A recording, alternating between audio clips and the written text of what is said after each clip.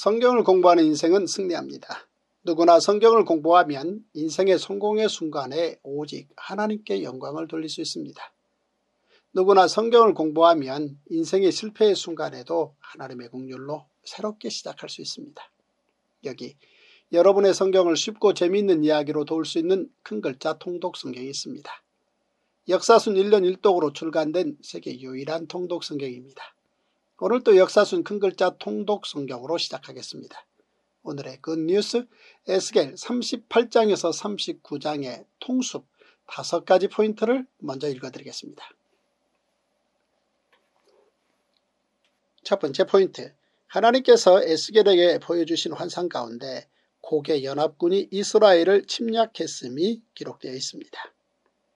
마곡 땅이 어느 곳인지 곡이 누구인지 정확히 알 수는 없습니다. 그러나 에스겔에 하나님께서 보여주신 환상 가운데 고개 연합군이 이스라엘을 침략했음이 기록되어 있습니다. 또한 로스, 메색 그리고 두발의 왕인 고기 이끄는 연합군이 바사, 구수, 붓, 고멜, 도갈마 족속들과 함께 거대한 군대가 되었다고 기록되어 있습니다. 이들은 하나가 된 이스라엘을 무너뜨리려는 악한 세력의 상징으로 보입니다. 곡연합군이 수많은 군인을 이끌고 불시에 침략해 옵니다. 그러나 거기 침략하려는 때 이스라엘은 바벨론에서 귀환한 재건 공동체로 그들은 성벽이나 문이나 빗장이 없이도 염려 없이 평안히 지내고 있었습니다. 그들은 하나님의 보호를 믿는 백성들이었습니다. 두 번째 포인트 하나님께서는 직접 온갖 재앙을 내리시며 고개 연합군과 싸울 것이라고 말씀하십니다. 고기 이스라엘을 침략하는 이유는 그들의 탐욕 때문입니다. 그러나 이는 하나님의 계획입니다. 하나님의 거룩함을 온 세상에 알리기 위함인 것입니다. 하나님께서는 때가 되었을 때에 온갖 재앙을 직접 내리시며 고개 연합군을 심판하실 것입니다. 하나님께서는 그날 다음과 같은 재앙을 내리실 것입니다. 첫째 큰 지진이 일어날 것입니다. 둘째 바다의 고기 공중의 새 들의 짐승 모든 생명체가 떨 것입니다. 셋째 산 절벽 성벽 모두가 무너질 것입니다. 넷째 각 사람이 칼로 그 형제를 칠 것입니다. 다섯째 전염병과 피로 심판하실 것입니다. 여섯째 폭우와 큰 우박과 불과 유황이 내릴 것입니다. 하나님께서는 이를 통해 하나님의 위대함과 거룩함을 나타내실 것입니다. 세 번째 포인트 곡을 향한 하나님의 심판 후 이스라엘은 7년 동안 사용할 땔감을 전리품으로 얻게 될 것입니다. 하나님께서는 계속해서 곡을 향해 심판을 선언하십니다. 바벨론에서 포로로 지내며 절망에 처해 있는 남유다 백성들에게 놀라운 이상을 보여주시는 것입니다. 하나님께서 곡을 심판하심으로 곡의 모습은 황폐해질 것입니다. 하나님께서는 이스라엘이 7년 동안이나 뗄감을 구하지 않아도 될 정도로 곡으로부터 많은 전리품을 얻게 하실 것입니다. 네 번째 포인트 곡의 연합군을 심판하심으로 하나님께서는 영광을 받으실 것입니다. 에스겔이 환상 중에 본 곡의 연합군은 온 땅을 덮치며 모든 것을 날려버릴 광풍과 같은 모습입니다. 그런데 예루살렘은 전혀 요동하지 않습니다. 하나님께서 직접 나서실 것이기 때문입니다. 에스겔은 환상 중에 살기 등등했던 곡의 군사들이 엎드러지고 그 죽은 자들의 무기를 모아 뗄감으로 썼을 때 무려 7년 동안이나 불을 피울 수 있게 되는 것을 봅니다. 하나님의 계획은 정말 놀랍습니다. 하나님께서 고개 연합군을 친히 무찔러 주심으로 온 열방에 하나님의 영광이 드러나게 될 것입니다. 다섯 번째 포인트 이스라엘은 다시 제사장 나라 거룩한 시민으로 회복될 것입니다. 하나님께서 이스라엘의 회복을 말씀하십니다. 하나님의 뜻은 징계와 처벌이 끝이 아닙니다. 이스라엘의 회복은 먼저 바벨론 포로들이 예루살렘으로 귀환하는 것입니다. 이는 이미 하나님께서 모세를 통해 레위기 26장에서 말씀해 주신 회복의 약속 그대로입니다. 그리고 아브라함의 후손들이 다시 제사장 나라 거룩한 시민으로 회복되는 것입니다. 다시는 내 얼굴을 그들에게 가리지 아니하리니 이는 민수기에서 알려주신 아론의 축복과 같은 뜻입니다. 모든 성경은 유익합니다. 세상 예화나 성경 요절주의 권별주의는 끝내 성경을 어렵게 합니다. 모든 성경을 모든 가정에서 다섯 살부터 통성경 스토리로 듣게 되면 성경은 곧 쉽고 재미있는 책이 될 것입니다.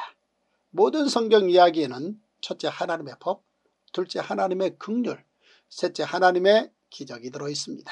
그러므로 성경 한 권이면 충분합니다. 와우!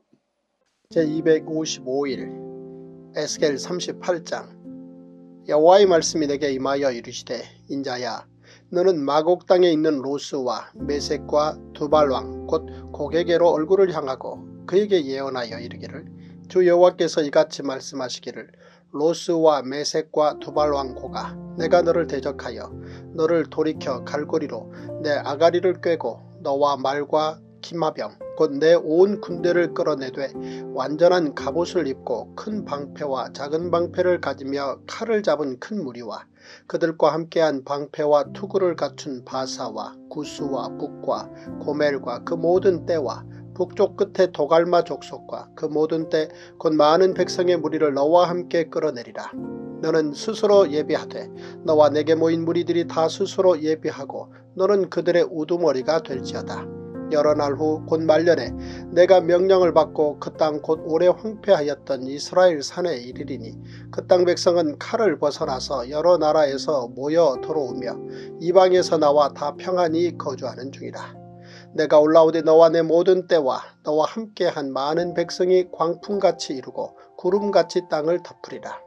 주 여호와께서 이같이 말씀하셨느니라 그날에 내 마음에서 여러가지 생각이 나서 악한 꾀를 내어 말하기를 내가 평원의 고울들로 올라가리라 성벽도 없고 문이나 빗장이 없어도 염려 없이 다 평안히 거주하는 백성에게 나아가서 물건을 겁탈하며 노력하리라 하고 내 손을 들어서 황폐하였다가 지금 사람이 거주하는 땅과 여러 나라에서 모여서 짐승과 재물을 얻고 세상 중앙에 거주하는 백성을 치고자 할 때에 스바와 드단과 다시스의 상인과 그 부자들이 내게 이르기를 내가 탈취하러 왔느냐 내가 내 무리를 모아 노력하고자 하느냐 은과 금을 빼앗으며 짐승과 재물을 빼앗으며 물건을 크게 약탈하여 가고자 하느냐 하리라.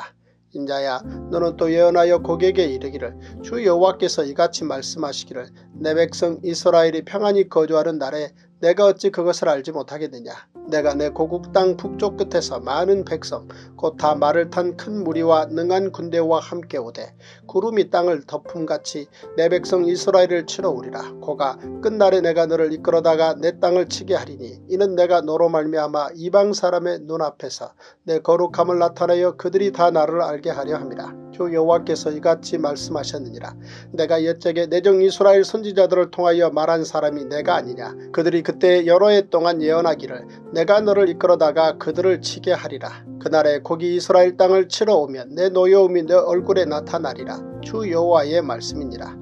내가 질투와 맹렬한 노여움으로 말하였거니와 그날에 큰 지진이 이스라엘 땅에 일어나서 바다의 고기들과 공중의 새들과 들의 짐승들과 땅에 기는 모든 벌레와 지면에 있는 모든 사람이 내 앞에서 떨 것이며 모든 산이 무너지며 절벽이 떨어지며 모든 성벽이 땅에 무너지리라. 주 여호와의 말씀이니라 내가 내 모든 산 중에서 그를 칠 칼을 부르리니 각 사람이 칼로 그 형제를 칠 것이며 내가 또 전염병과 피로 그를 심판하며 쏟아지는 폭우와 큰 우박덩이와 불과 유황으로 그와 그 모든 무리와 그와 함께 있는 많은 백성에게 비를 내리듯 하리라. 이같이 내가 여러 나라의 눈에 내 위대함과 내 거룩함을 나타내어 나를 알게 하리니 내가 여호와인 줄을 그들이 알리라. 에스겔 39장. 그러므로 인자야 너는 고객에 예언하여 이르기를 주 여호와께서 이같이 말씀하시되 로스와 메색과 두발왕 고가 내가 너를 대적하여 너를 돌이켜서 이끌고 북쪽 끝에서부터 나와서 이스라엘 산 위에 이르러 내 활을 쳐서 내 왼손에서 떨어뜨리고 내 화살을 내 오른손에서 떨어뜨리리니 너와 내 모든 무리와 너와 함께 있는 백성이 다 이스라엘 산 위에 엎드러지리라. 내가 너를 각종 사나운 새와 들짐승에게 넘겨 먹게 하리니 내가 빈들에 엎드러지리라. 이는 내가 말하였음이니라. 주 여호와의 말씀이니라. 내가 또 불을 마곡과 및 섬에 평안히 거주하는 자에게 내리리니 내가 여호와인 줄을 그들이 알리라. 내가 내 거룩한 이름을 내 백성 이스라엘 가운데 알게 하여 다시는 내 거룩한 이름을 더럽히지 아니하게 하리니 내가 여호와 곧 이스라엘의 거룩한 자인 줄을 민족들이 알리라 하라. 주 여호와의 말씀이니라 볼지어다 그날이 와서 이루어지리니 내가 말한 그날이 이날이라 이스라엘 성읍들에 거주하는 자가 나가서 그들의 무기를 불태워 사르되 큰 방패와 작은 방패와 활과 화살과 몽둥이와 창을 가지고 일곱 해 동안 불태우리라. 이같이 그 무기로 불을 피울 것이므로 그들이 들에서 나무를 주워오지 아니하며 숲에서 벌목하지 아니하겠고 전에 자기에게서 약탈하던 자의 것을 약탈하며 전에 자기에게서 늑탈하던 자의 것을 늑탈하리라. 주 여호와의 말씀이니라. 그날에 내가 곡을 위하여 이스라엘 땅 곧 바다 동쪽 사람이 통행하는 골짜기를 매장지로 줄이니 통행하던 길이 막힐 것이라. 사람이 거기에서 곡과 그 모든 무리를 매장하고 그 이름을 하몬곡의 골짜기라 일컬이리라. 이스라엘 족속이 일곱 달 동안에 그들을 매장하여 그 땅을 정결하게 할 것이라. 그땅 모든 백성이 그들을 매장하고 그로 말미암아 이름을 얻으리니 이는 나의 영광이 나타나는 날이니라. 주 여호와의 말씀이니라. 그들이 사람을 택하여 그 땅에 늘 순행하며 매장할 사람과 더불어 지면에 남아있는 시체를 매장하여 그 땅을 정결하게 할 것이라. 일곱 달 후에 그들이 살펴보되 지나가는 사람들이 그 땅으로 지나가다가 사람의 뼈를 보면 그 곁에 편말을 세워 매장하는 사람에게 가서 하몬곡 골짜기에 매장하게 할 것이요 성읍의 이름도 하모나라 하리라. 그들이 이같이 그 땅을 정결하게 하리라. 주 여호와께서 이같이 말씀하셨느니라. 너 인자야 너는 각종 새와 들의 각종 짐승에게 이르기를 너희는 모여오라 내가 너희를 위한 잔치 곧 이스라엘 산 위에 예비한 큰 잔치로 너희는 사방에서 모여 살을 먹으며 피를 마실지어다. 너희가 용사의 살을 먹으며 세상 왕들의 피를 마시기를 바산의 살찐 짐승 곧 순양이나 어린 양이나 염소나 수송아지를 먹듯 할지라.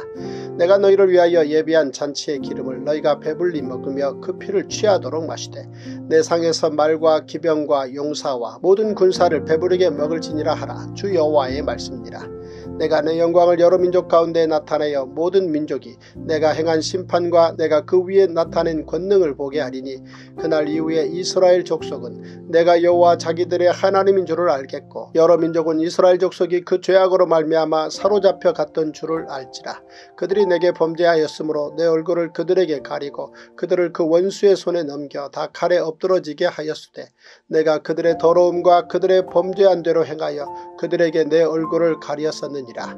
그러므로 주 여호와께서 이같이 말씀하셨느니라. 내가 이제 내 거룩한 이름을 위하여 열심을 내어 야곱의 사로잡힌 자를 돌아오게 하며 이스라엘 온 족속에게 사랑을 베풀지라. 그들이 그 땅에 평안히 거주하고 두렵게 할 자가 없게 될 때에 부끄러움을 품고 내게 범한 죄를 뉘우치리니 내가 그들을 만민 중에서 돌아오게 하고 적국 중에서 모아내어 많은 민족이 보는 데에서 그들로 말미암아 나의 거룩함을 나타낼 때라. 전에는 내가 그들이 사로잡혀 여러 나라에 이르게 하였거니와 후에는 내가 그들을 모아 고국 땅으로 돌아오게 하고 그 한 사람도 이방에 남기지 아니하리니 그들이 내가 여호와 자기들의 하나님인 줄을 알리라. 내가 다시는 내 얼굴을 그들에게 가리지 아니하리니 이는 내가 내 영을 이스라엘 족속에게 쏟았습니다. 주 여호와의 말씀이니라.